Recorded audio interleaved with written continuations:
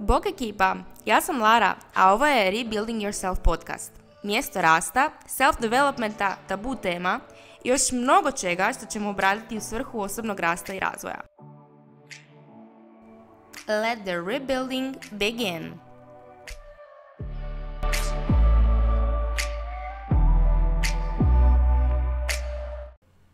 Hello, hello! Pa eto ga i moje prve epizode ovoga podcasta. Iskreno jako se radujem zato što sam dosta dugo cjelokupnu ovu priču odgađala jer um, self-sabotage, ako ćemo tako, uh, niste jedini koji prolazite kroz to. Um, osobno se dosta često sabotiram i smatram da nije pravo vrijeme, da uh, će se okolnosti promijeniti, da će biti ajmo reći, bolja situacija za započeti nešto i onda na kraju shvatim da jednostavno moram samo krenuti jer ako nastavim ovako nikada neću ni sa čim započeti. Pa, eto nas i u prvoj epizodi gdje bih ja voljela vama dati bolji uvod u to tko je iza ovog podcasta i zapravo kako je započela nekako cijela moja priča Mislim, svakim danom rastemo na društvenim mrežama, znači na profilu Fit Without Guilt, uh, isto tako i na TikToku koji se uh, isto zove i na mom YouTube kanalu na kojemu se nadam da ću biti više u narednom periodu i da ću zapravo istaknuti one aspekte sebe koje ne ističem toliko preko Fit Without Guilta jer su one dosta osobne i nekako ne volim preko objava isticati dijelove koje ne mogu ni približiti jer jedno je komunicirati s ljudima, drugo je kada vi vidite fotografiju osobe i nekakav opis ispod i opis u 90% slučajeva ljudi ne pročitaju. Tako da, evo, moja težnja nekako u narednom periodu je pružiti vama onaj sadržaj koji će vam pomoći, dati vam edukativne teme, isto tako sadržaje koji će vam pomoći oko prehrane, treninga, mentaliteta i izvore gdje se možete dodatno educirati. Današnja epizoda je vezana uz moj put, dakle moje početke od 2013. godine kada ja mogu reći da je moj život i moja svrha oformljena.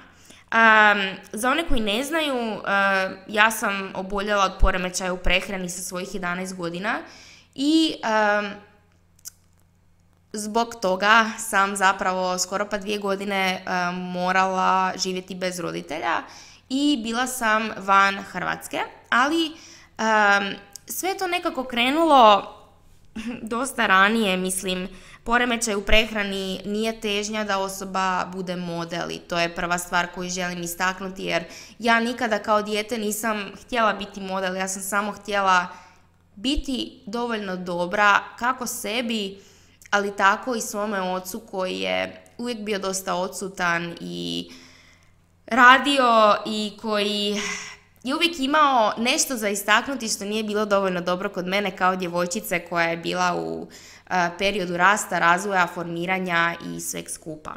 I ja sam zaista bila jako uspješno i dobro dijete, dakle 5-0, sportašica, tiha, poslušna, baš ono tipičan oblik ženskog djeteta prema normama i prema nekakvim standardima kako se treba ponašati ali upravo to je dovelo do mog poremećaja jer se tu razvila težnja za perfekcionizmom, e, za konstantnom nadogradnjom, e, konstantno sam pronalazila kritike oko, sebe, e, vezano uz svoj život, nekakve svoje karakteristike i jednostavno nikada nisam došla do osjećaja nutarnje stabilnosti i nekakvog mira da se osjećam prihvaćenom unutar obitelji i da se osjećam voljenom.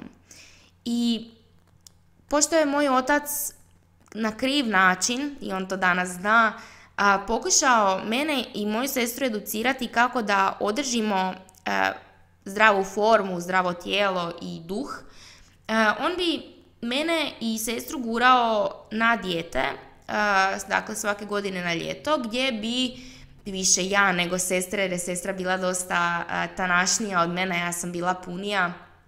i voljela sam jako, jako jesti, mislim i dan danas je to aktualno, ali ovaj, on nas je tjerao dakle, na tu nekakvu posebnu dijetu i tjerao nas je da radimo trbušnjake zajedno s njim, e, jer je ljeto bilo period kada je on mogao staviti fokus i na vlastito tijelo, pošto nije toliko radio, već je došao na godišnji odmor dolje na, na more, u stan gdje bi mi boravili svake godine oko nekih mjesec dana otprilike, pošto imamo zapravo ovaj, naš stan dolje. I tu je e, nekako krenula cijela ta priča gdje sam ja shvatila kako fizički izgled ljudima jako znači. Znači, ja bi, ne znam, mi bi izašli na dolje na rivu i ja bih htjela uzeti sebi sladoled, otac mi ne bi dao. Došli bi na plažu, nosili bi voće, ne bi smjeli nositi sendviče. Zašto? Zato što sendviči debljaju. A, htjela bi naručiti palačinku kojih uvijek bude dolje, znate ono, ono kad fino zamiriši, e, navečer izađete i osjetite sladoled, palačinke, ne znam, e, ona šećerna vata, mislim to je svakom djetetu san snova. Ali ja bi uvijek u, strahu ovaj, pristupala svim tim eh, okolnostima, restoranima. Mrzila bi kada izlazimo van jesti u restoran jer bi znala da će Seka moći pojesti bolonjeza, a ja ću morati jesti piletinu i salatu. I u biti eh, ja sam se bojala svakog mora jer sam znala što me slijedi, znala sam da će me se tjerati da plivam, što je tata jako forsirao. Mislim, jesmo sestra ja na taj način naučile kako izuzetno kvalitetno plivati da se nikad ne utopimo, ali pristup mog oca je bio pogrešan. I da bismo naučili djecu nešto, mi ne možemo djeci to nametnuti. Mi trebamo djeci pokušati objasniti zašto nešto je i trebamo imati dovoljno strpljenja za djetetovu razinu svijesti gdje ćemo mu približiti na jedan siguran način nekakvu novu tematiku i probiti strah koji je kreiran iznutra, što je normalno. Svaka novina kreira nesigurnost. Ali moj otac to e, nije radio na taj način, već je njegov pristup, možda i zato što je, mislim sigurno zato što je on tako odgajan, bio ili silom ili nikako. Znači, forsiranje. I tako je pristupao u svim aspektima nekako mog života, kad sam trebala naučiti čitati, kad sam trebala naučiti plivati. I to se dosta reflektiralo na hranu jer ja sam tražila sigurnost u toj hrani i na svakom videu, baš kad gledamo kad sam bila malena, ja sam uvijek jela. I tu je s vremenom rasla moja osobna nesigurnost jer ja fizički nikada nisam bila dovoljno dobra. Znači uvijek uvijek, uvijek sam bila na nekakvim dijetama, e, restrikcijama. Baka bi kupovala one male, ako znate, kao mala peciva iz posebne jedne pekare kod nas u, ja sam inače iz Osijeka, uh, baš smo imali u pekari Recvala posebne kromblice koje sam ja jako voljela i mini sendviče koje bi baka pravila ili deda, to fife sam obožavala, ali to su sve bile stvari koje su moji baka i deda skrivali da moj otac ne sazna kako ja to konzumiram u periodu kada bi ja primjerice došla kod njih. I jedne godine, pošto je to godinama bilo tako, znači da je mama skrivala što ja jedem, sestri meni davala skrivečki novce da si odemo nešto kupiti i tako dalje i tako dalje. Ono što se dogodilo je da sam ja 2013. znači na to ljeto, jednostavno htjela uzeti stvari u svoje ruke i rekla sam ok, ovo ljeto ja ne želim doći na more i ja jednostavno ne želim biti, ne želim proživljavati jedno te isto. I rekla sam si ja ću tu izgubiti kilograme jer sam bila uh, uvijek i najvišlja i najjača u razredu, ne najdeblja, ali sam bila jaka, znači baš sam bila snažna, graničar sam trenirala, odbojku šest godina i bila sam stvarno uh, i visoka i snažna i krupnija. I rekla sam si, ok, znači treniram odbojku, imamo mogućnost e, sa mlađom skupinom i sa starijom skupinom trenirati, što su dva treninga na dan. Mogla bi otići i trčati, iako nisam voljela trčanje, zato što je tata to isto forsirao i nekako sam trčanje u cijelom tom e, periodu života i forsiranja zamrzila. Ali rekla sam si dobro, mogu odraditi trbušnjake i mogu ovaj, određivati ta dva treninga pošto je sunce i ono, uznojit ću se i znam da će to biti dosta dobro. Što se tiče prehrane, tu sam izbacila potpuno ugljikohidrate jer nisam imala uopće znanja, mislim ja sam tad imala 11 godina. I uh, ostala sam doslovno na jajima, skinula sam neku dijetu sa interneta i to sam pratila ono baš, baš, baš po PS-u i tu i tamo bi iz mlinara, uh, pošto tad nisam još imala alergiju koja se razvila, kupila bi uh, onaj prutić uh, kukuruzni i pojela bi malo sira sa tržnice koji sam jako voljela. I to je bilo to. Znači, cijeli svoj dan ja nisam jela, imala sam dva treninga od 60 do 90 minuta odbojke i onda bi došla kući i odradila bi u početku 200 trbušnjaka. I to je trajalo i naravno eto ujutro bi pojela taj prutić i navečer bi onda jela sira i jaja jer je moj otac zastupao i promovirao te dvije stvari kao jako zdrave ono, sve ostalo sam izbacila jer jednostavno nisam uopće poznavala ni hranu, niti sam znala što je ispravno, zdravo, bojala sam se voća, bojala sam se banane jer banana ima šećere, bojala sam se uh, mahunarki zato što sam vidjela da mahunarke imaju više ugljikohidrata kao povrće. Znači doslovno bojala sam se svega i tako sam i pristupala samoj prehrani. I u mjesec dana, to jest u dva mjeseca, ja sam izgubila 15 kilograma. I zapravo tu kada se to počelo aktualizirati, ja sam dobivala jako puno pozitivnih komentara što je velika pogreška i ako sad mislim sluša netko od roditelja, ako primetite kod svog djeteta takve drastične promjene, uh, definitivno provjerite postoje li nešto uh, iznutra što se događa kod djeteta, nekakva promjena, jer uh, mora postojati pozadina za, za tako drastične ekstreme nije to samo nekakva faza i to ne treba hvaliti, pogotovo ako je dijete samo ušlo u to jer se najčešće ono u cijeloj toj priči i izgubi. I ja sam tu izgubila kilogram i svi su me hvali kao kako super izgledaš, wow, svaka čast, otac je isto bio ponosan. I meni se to svidjelo, ali nisam mogla stati sa pristupom i obsesivnim mislima i postupcima koje sam tijekom dana radila. I naravno to je bilo dva mjeseca prije mora i onda smo mi u sedmom mjesecu otišli dolje na more i svi su bili iznenađeni kao kako sam se ja stesala ovo ono, ali ja sam na moru postala još ekstremnija jer, e, ekstremnija sam mislila da ću tako dostići još veće rezultate što je bila pogreška.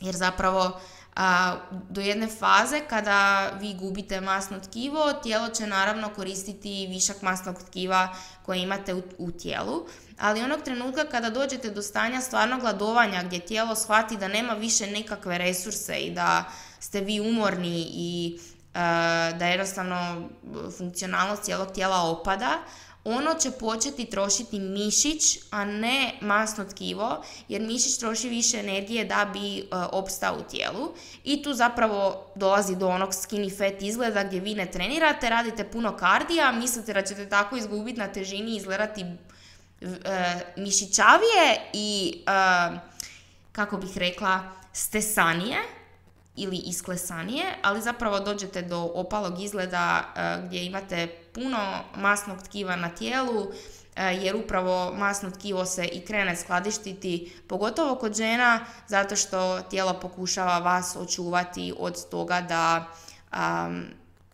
tijelo ne prestane funkcionirati. Znači kada ste u, stanju gladovanja jednostavno ono će topiti ono što troši više energije, a to je mišić. I to se meni počelo događati, ali nisam to primjećivala, nego sam jednostavno sprovodila svoje.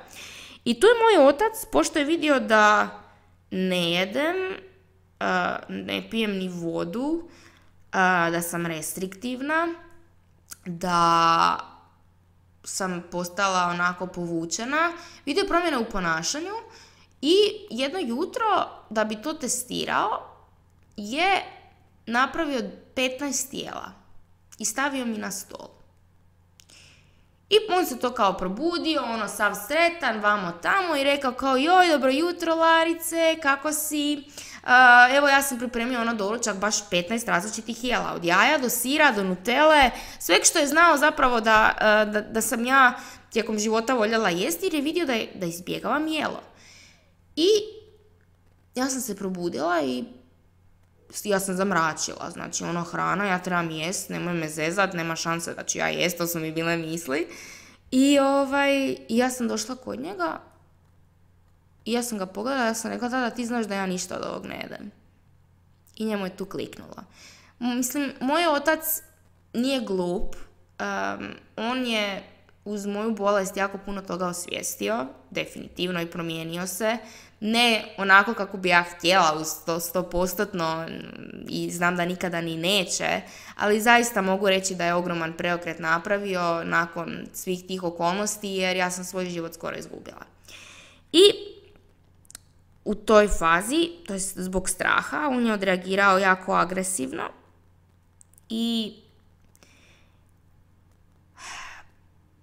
tu smo se mi jako zakačili, stvari su eskalirale i mi nismo pričali naredni period od jedno, dva, tri dana. Jer je to inače ono, silent treatment uvijek bio od njega i dan danas u nekim situacijama je, ali danas to ja znam probiti zbog svoje empatije i svoje nekakve e, emotivne izrelosti i svega. I u toj fazi zapravo sam ja dobila i proljev tamo na moru. Nešto me zahvatilo i ja sam tu izgubila još dodatno kilograme i skoro kolabirala gdje smo mi završili u Šibeniku na infuziji i u Šibeniku su rekli da sam preslaba i da imam anoreksiju i da bismo trebali ići u Zagreb na liječenje, znači u Vinogradsku bolnicu.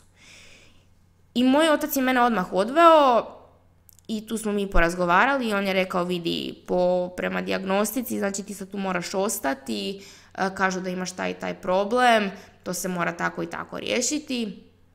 I ja sam pristala jer sam vidjela da je to bio prvi put kada su moji roditelji stvarno stavili fokus na mene i kada su mi odlučili pružiti onu dozu ljubavi koja mi je trebala, fokusa, a to je e, glavni, e, glavni ključ za oporavak ljudi koji obole od poremećaja u prehrani. Znači ta praznina i tješenje s hranom, bilo da je prejedanje, bilo da je bulimija gdje se vi bojite hrane pa povraćate ili bilo da je anoreksija ili ortoreksija, znači pikanje vlastitog tijela, sve polazi od manjka samopouzdanja, osobnih nesigurnosti i osjećaja manjka voljenosti, manjka prihvaćenosti. Jer ja se nikada nisam uklapala u skupine, ja sam bila uvijek na svom, dijete koje je nekako imalo svoju putanju i osjećalo se uvijek samo, jer nisam bila dio zajednica, ljudi me nisu razumjeli i uvijek sam ja bila ta koja je popravljala sve oko sebe, dok ljudi nekako nikako nisu razumijevali moje potrebe i davali meni ono što je meni trebalo. To sam dobila tek kad sam otišla u Portugal. Ali, da se vratim još na jedan dio priče. Što se dogodilo? Dogodilo se to da sam ja ostala u Vinogradskoj i oni su mene fizički oporavili, ali psihu nisu uspjeli zahvatiti i dan danas Vinogradska bolnica može oporaviti samo fizičko. Dakle, vi dođete tamo, oni vas podignu na kilaži, oporave tijelo i vrate vas kući, ali bez psihoterapije i bez adresiranja okolnosti i okoline iz koje ste vi proizašli, znači obiteljski odnosi, problemi doma, način na koji vi vidite hranu, osobna edukacija oko hrane, ako toga nema, osoba se ne može oporaviti i to je ono što ja uvijek, uh, iako nema ljubavi, znači razumijevanje i empatije uh, oko problematike unutar obitelji i okruženja u kojemu se nalazite, tu nema pomoći. Nema. I zato je bitno obratiti se i centru BEA u Zagrebu za pomoć ili nekom od psihoterapeuta koji se tom tematikom bavi. Mi to nismo znali, ja sam se vratila kući i ja sam nastavila dalje sa prehranom, ali sam razvila alergiju na gluten u međuvremenu, što zbog velikog gubitka kilograma, što zbog predispozicije u obitelji, što zbog e, drugih faktora i oštećene probave, mi smo jednostavno saznali da sam ja dobila celijakiju, ja sam tu trebala pratiti tu prehranu, ali kako moji nisu znali koja namirnica ima gluten, koja nema i tek su se sa svima upoznavali, dali su mi namirnicu koja gluten ima. I ja sam opet dobila proljev, opet sam izgubila malo na kilaži i tu je mog tatu uhvatio strah. Jer je ono, mislio se opet se vraćamo, ne, ona ne smije gubiti na kilaži jer je previše bio fokusiran na kilažu. Kilaža nema veze sa stanjem u glavi. Ako vi adresirate stanje u glavi, kilaža će se prilagoditi. Znači, to je totalna greška kad roditelji stavljaju toliki, toliko velik fokus, a dijete je u nekakvom normalnom ili ok sigurnom range i voljno je jesti. Bitnije je da vi vidite da je ono voljno jesti i surađivati nego da se fokusirate na to da dijete ima 60, 55 ili ne znam nija koliko kilograma.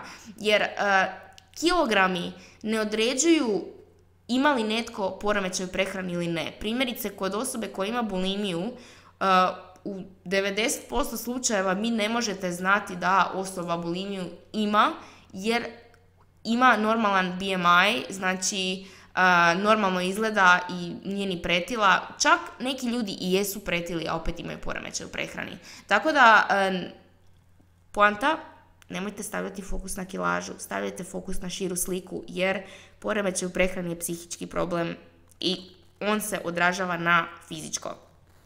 Tako da, u toj situaciji, znači, kad je meni došao taj proljev, on, mene tata vratio u bolnicu i tu sam se ja zainatila jer sam tamo krenula surađivati i počela sam se osjećati dobro. I oni su me vratili nazad, znači u robiju, u zatvoreno, u okruženje gdje nisam voljela biti. I shvatila sam da propuštam školu, da moram raditi nadoknade. Jednostavno grozan, grozan, grozan osjećaj, a nisam mogla utjecati na to jer sam naravno imala 11 godina. I ja sam propadala psihički u toj bolnici, zainatila sam se, počela skrivat hranu. Tražila onda i lagala svojima kao da ja jedem bezglutenske slastice i čokoladice i rekla da mi oni kupuju hrpu toga i onda sam to skladištila ispod kreveta u bolnici i onda bi ja to prožvakala pa pljuckala, nisam ništa od tog jela. Pa sam imala i sondu koju sam tijekom noći i ostala sam budna izbacivala u mivaonik. To su bili takvi trikovi, manipulacije, laganja, bacanje tosta kroz hranu. E, znači sve, sve, sve, samo da ja ne jedem. Jer je to bio protest zato što sam se osjećala nevoljenom i smatrala sam da su me roditelji napustili. U međuvremenu, moj otac je uzeo duboko proučavati cijelu tu problematiku. Mama je dobila i dijabetes i on joj je eskalirao u toj fazi, pa su, mislim, tata je mamu štedio jer nije htio da jednostavno izgubi nogu zbog e, dijabetesa ili nečega ako je on disreguliran. Moji roditelji su se isto na jedan period preselili za Zagreb da bi mogli zapravo biti bliže meni i to je bio kaos kaosa. I u jednoj fazi je moj otac otišao pogledati klinike vani jer je shvatio da u Hrvatskoj mi nemamo mjesto koje liječi problem, što je aktualno i dan danas. Osim što imamo dnevnu bolnicu u centru Bea, ali to nije dovoljno u većini slučajeva, ovisno o fazi problema u kojoj je osoba, to nije dovoljno najčešće za oporavak. I ja sam ostala u bolnici i on je otišao dalje proučavati zapravo klinike i sve da vidi na koji način mi može pomoći. I dok je on zapravo bio na tom putovanju, ja sam shvatila, aha, znači ja sam sad sama sa mamom, ja ću mamu izmanipulirati, pošto je mama bila slabija karika i dan danas je, ja ću nju izmanipulirati i ja ću zapravo sebe izvući iz bolnice.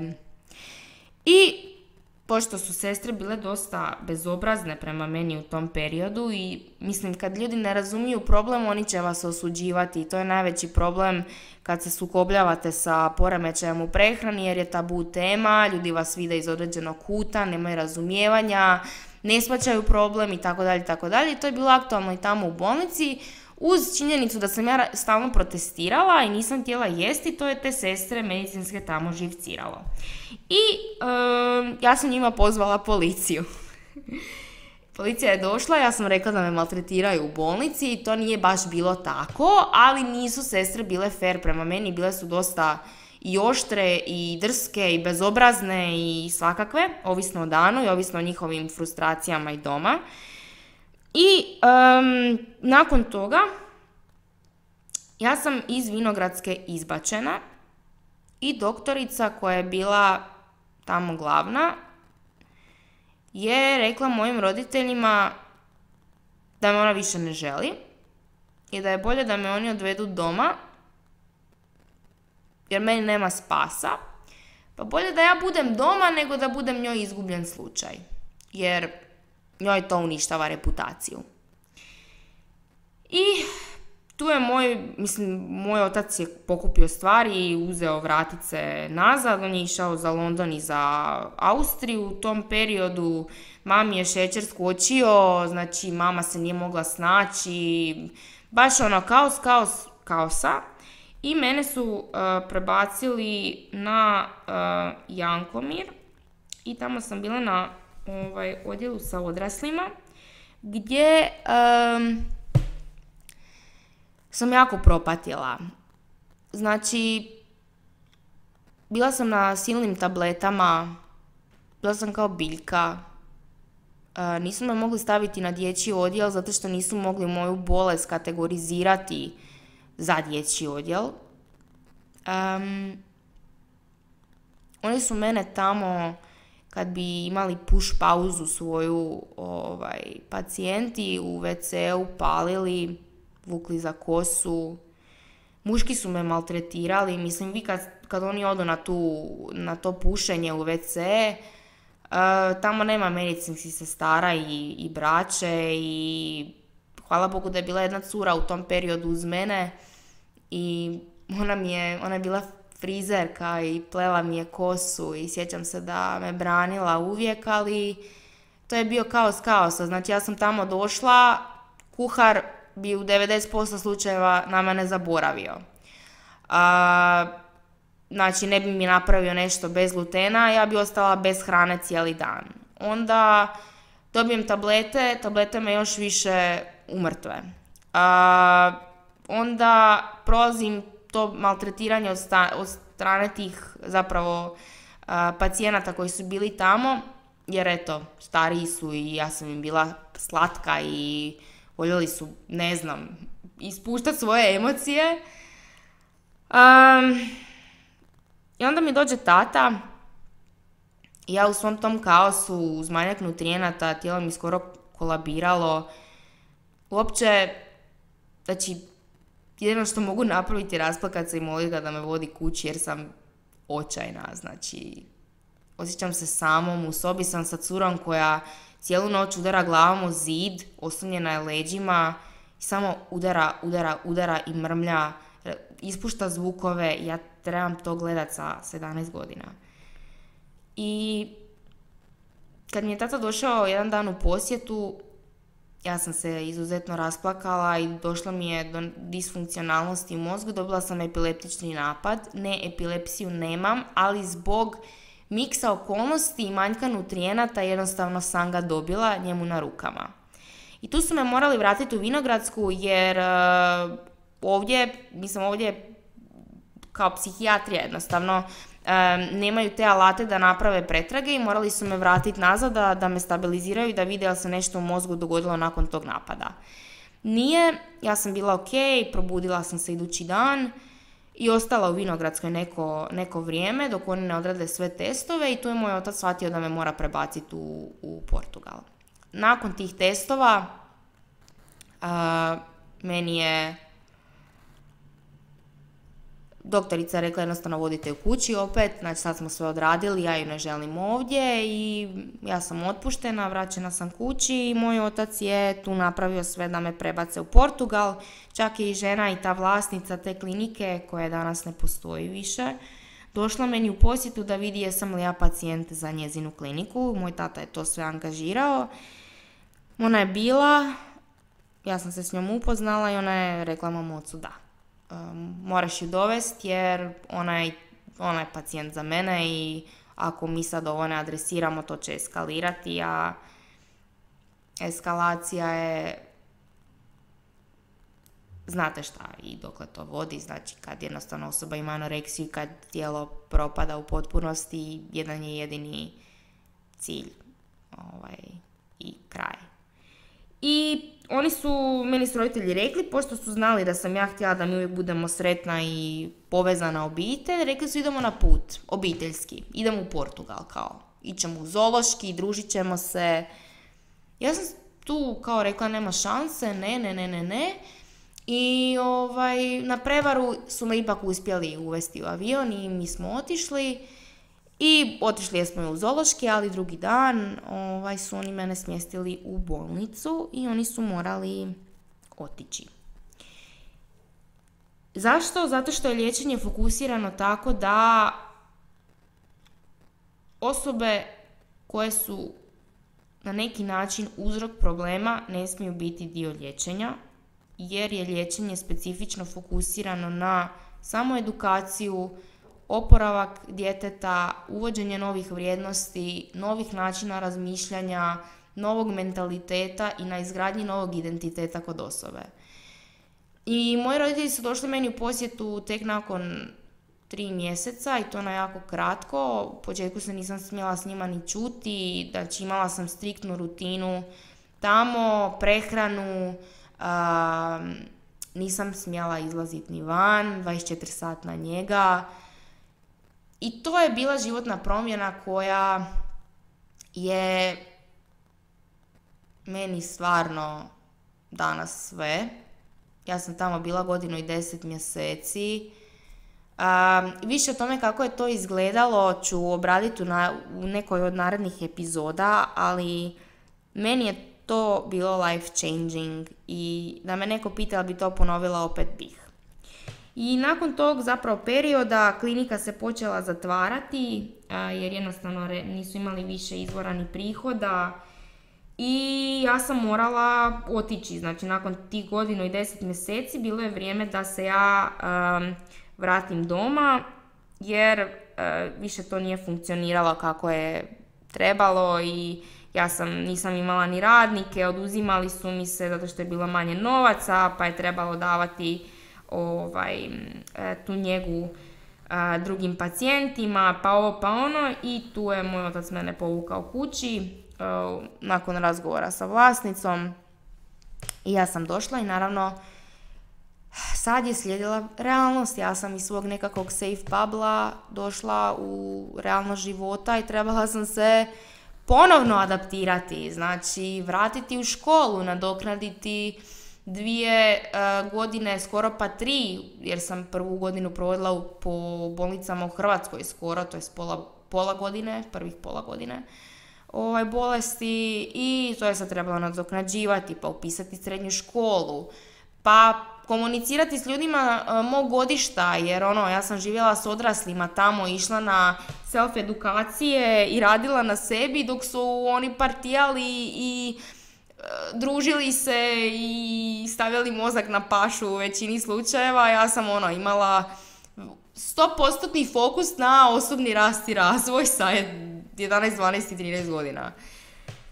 I to je bilo jako teško. Znači ja sam se osjetila neprihvaćenom, nisam imala prijatelje, sve čega sam se sjećala i načini funkcioniranja ovdje su mi bili nepoznati, strah, osjećaj nedovoljnosti, ono, Isuse, ne znam ništa što oni znaju od ovog gradiva, ne razumijem to, kako ću to nadoknadit. izgubila sam opet na kilaži, jednostavno previše stresa, previše svega za moju psihu, za moje tijelo, ma za sve.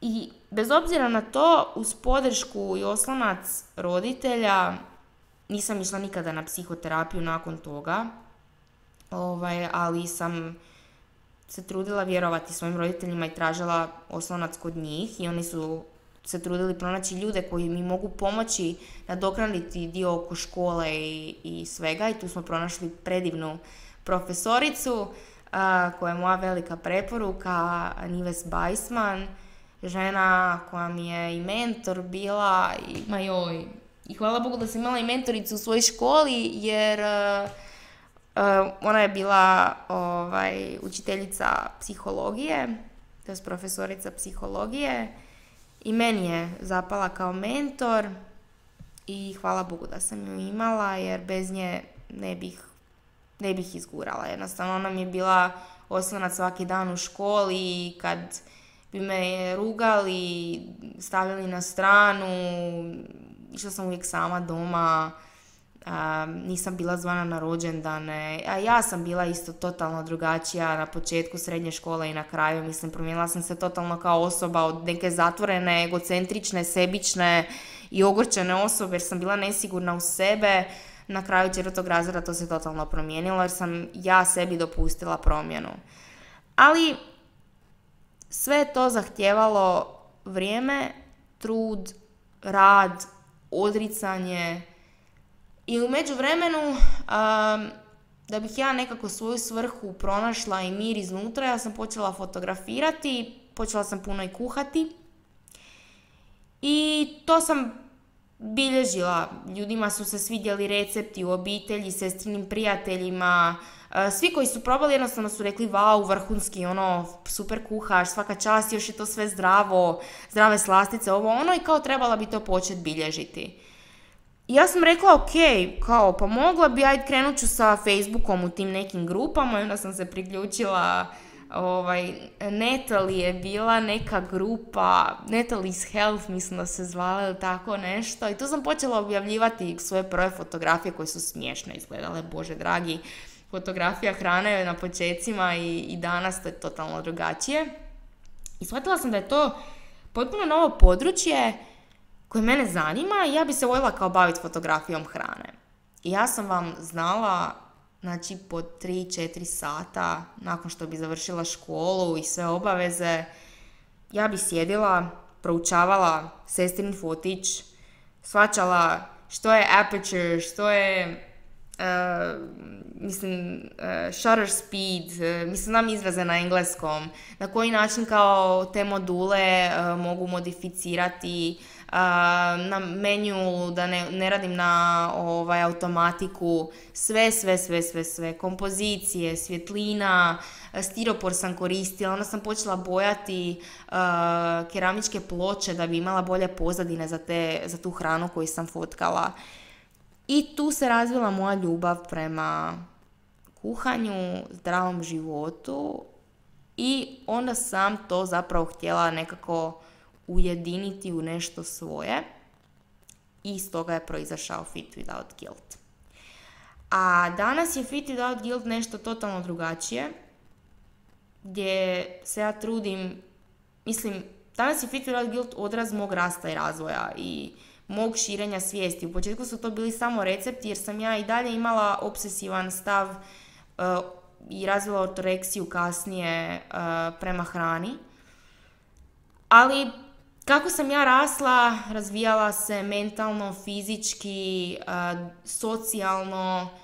Fit Without Guilt se isto tako proširio i to je danas mjesto gdje pričamo o tabu temama, o poremećajima u prehrani, o osobnom rastu i razvoju, o znanosti, o zdravom životu, zdravim navikama i nekako svim onim točkama koje mogu unaprijediti nečiji život, a vezani su i uz zdrave, ukusne i neodoljive slastice koje ja obožavam praviti. Eto, to je to za ovu epizodu. Ja ju neću editati jer želim da stvari budu fully raw i iskrene i nekako želim da mene upoznate i moj način komunikacije, tko posluša, posluša, i ovim putem se želim u startu zahvaliti na vremenu koje ste odvojili da poslušate podcast. Prijedloge mi pišite na Instagramu, naravno pišite mi slobodno na mail. Uvijek se trudim odgovoriti svima i mi se gledamo i slušamo, to jest slušamo u sljedećoj epizodi koja će od sada pa nadalje izlaziti svaki tjedan. Love you ekipa i čujemo se u narednoj epizodi.